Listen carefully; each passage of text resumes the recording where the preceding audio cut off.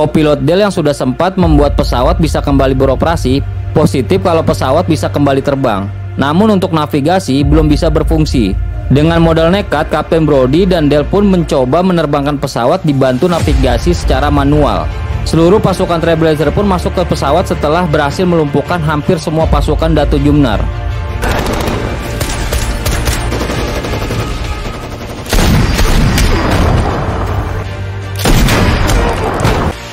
Dan adegan seru pun terjadi ketika Datu Jumnar ingin menembakkan pesawat dan dia digilas oleh roda pesawat saat berhasil lepas landas.